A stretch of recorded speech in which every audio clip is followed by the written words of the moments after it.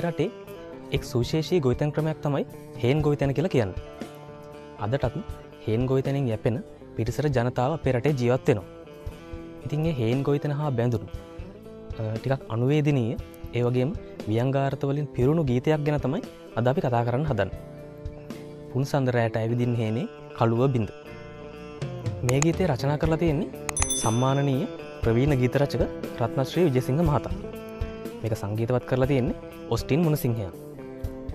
මේ ගීතය ගායනා කරන්නේ නිරෝෂා විරාජනය විසින්. රත්නශ්‍රී විජසිංහ මහත්මයාතින් මේ ගීතය රචනා වෙලා තියෙන්නේ කාට ගස්තිගලිය පැත්ති කරපු සංචාරයකදී. එතුමට හම්බෙලා තියෙනවා අවුරුදු අසුවක් විතර වයසක අම්ම කෙනෙක්. ඒ අම්මත් එක කරපු කතාභාගින් පස තමයි මේ ගීතය ලියන්න පසුවීම සකස් වෙලා තියෙන ඉතින් රත්නශ්‍රී මහත්මය මේ අම්මගේ එන්න ගෙදරට ගියාලු වතුර එකක් බොන්න. ඒතින් වතුරු බිබී කතා කර ඉන්න අතරය හවලු මොකද මේ ළමෙක් හෙමත් නැත්ත කියලා වගේ ප්‍රශ්නයක් ඇහවලු. එතකොට ඒ අම්ම උත්තර දුන්නලු අනේ බලන්නක පුතේ අපේ උන්දැට උම්නාවත් තිබුණ නෑන හැමදා මුදේට අමුඩෙත් ගහගෙන හේනට යනවා.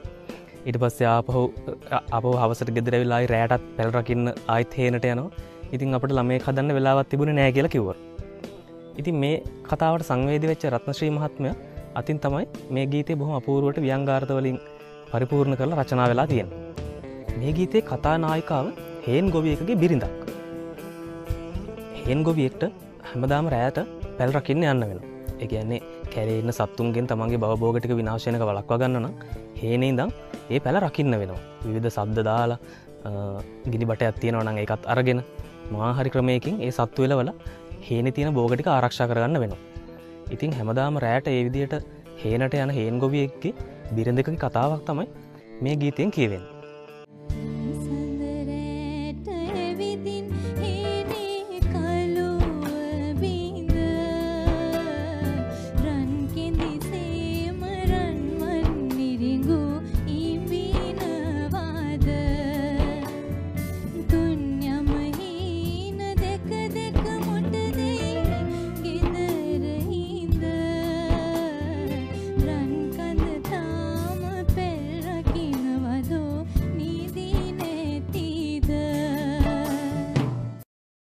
හේනට හඳේලිය වැටෙන එක ගැන ඇ හිතන්න මෙහෙම.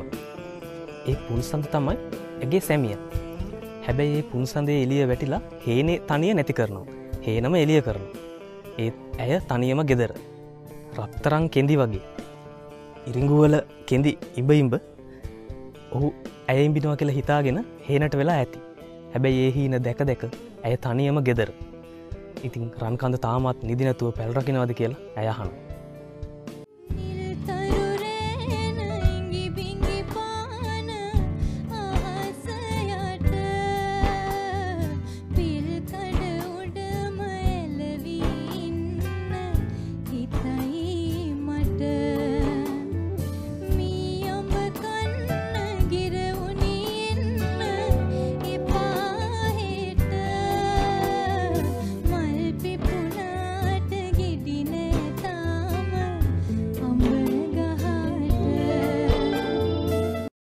ලිංගිකත්වය කියන මානව අවශ්‍යතාවයක් ඇයටත් හැඟීම් දැනීම් තියෙනවා.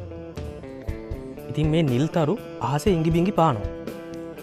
ඒ කියන්නේ ගමේ කොල්ලො ගැටව් ඇය පිළිමද අදහසක් ඇති කරගෙන ඇත් සමඟ සම්බන්ධයක් ඇතිකරගන්න උත්සාහ කරනවා.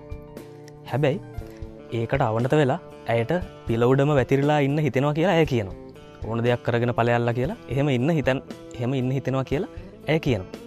හැබැයි ඇය ඔහුට ලෙංගතු ඒක නිසා ඒ හැඟීම යටපත් කරගන්න ඇය පෙළමෙනවා ඊටත් අමතරව ඇය කියනවා මීයඹ කන්න ගිරවුණි එන්න එපා හෙට.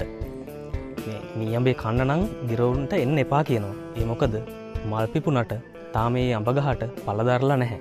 එකන්නේ ඔවුන්ට තාම ළමයි නැහැ. ඒක නිසා ඒ වගේ දේකට නම් ඒ නිල්ලහස ඉඟිබිඟි පාන තරුවලට මේ ගිරවුන්ට ඒ වගේ දේකට නම් ඉඩ තියන්නේ නැහැ කියලා ඇය මේ පදවැල්වලින් තමන්ගේ හැඟීම ප්‍රකාශ කරන ඒක බොහොම අපූරුවට ගොුණු කරලා තියෙන රත්නශ්‍රී මහත්මය විසි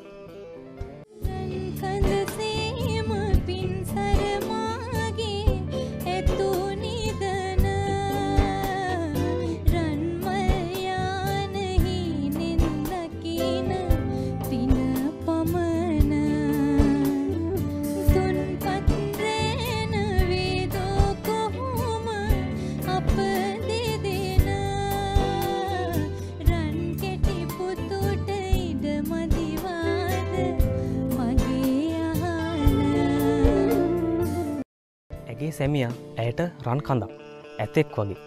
ඒත් ඒ ඇතෑට තියෙන එකම සහනය අර රන්මල් යාය ඉම්බින එක විතරද? ගෙන රේනපු කරල්වල තියෙන රන්වන් කොන්්ඩේ ඇගේ කොන්්ඩේ කෙළ හිතාගෙන ඉම්බින එක විතරයි කියලා ඇය කියනවා. ඉතිං ඇයයි ඔහුයි දෙන්න විතරක් තුම් පත්‍රයන වෙන්න නැහැනි. තුම් පත්‍රයන් වෙන නම් තුන් දෙනෙක්කින්න ඕනන. ඉතින් ඇය කියනවා තුම් පත්‍රයන වේ දෝ කොහොම අප දෙදෙන රන් කැටිපුතුට ඉඩමදිවාද මගේ හන් තාම අපට පුතෙක් නෑ කියලා ඇය බොහොම සංවේගෙන් කියනවා. මෙතන පොඩි මතබේධාත්මක යෙදුමක් තියෙනවා. තුම්පත්‍රයන කියලා සාමාන්‍යෙන් කියන්නේ ඇතා ඇතින්න සහ ඇත් පැටවා කියලා හිතාගෙන හිටියට ඇත්තරම තුම්පත්‍රයන කියලා කියන්නේ පිරිමි ඇතෙක් නැති තුන්දනේ සමහරවිට මිත්තනිය ඇතින්න සහ ඇත් පැටව වෙන්නත් පුළුවන්. ඇතින්න ලොකු දුව සහ ඇත් පැටව වෙන්නත් පුළුවන්. මොකද පිරිමි සතා රැහෙන් එලවල දානවා. ඒ ප්‍රජන කටයුතු වෙන කාල සීමාවදි. මදකි පිච්ච ඇතා කියලා ඒ හඳුරන්නන්නේ ඒ පිරිමි සතාට. සාමාන්‍ය මාතෘමූලික සමාජයක් තමයි මේ ඇත් සමාජ. ඒක නිසා මෙතන මේ යෙදම පොඩි මත බේධාත්ම බවත් තියෙන සමහරට ග්‍රාමී විවාහරය එනදේ හෙම යොදාගත්තා වෙන්න පුළුවන් රචකය මෙතනද. කොහොමුණත් මේක බොහම අපූරු ව්‍යංගාර්ථය ගැප් කරලියපු බොහෝම ලස්සන ගීතයක්. දැන් අපි හමුයි ගීතය මහේෂා සඳමාලගේ හඬි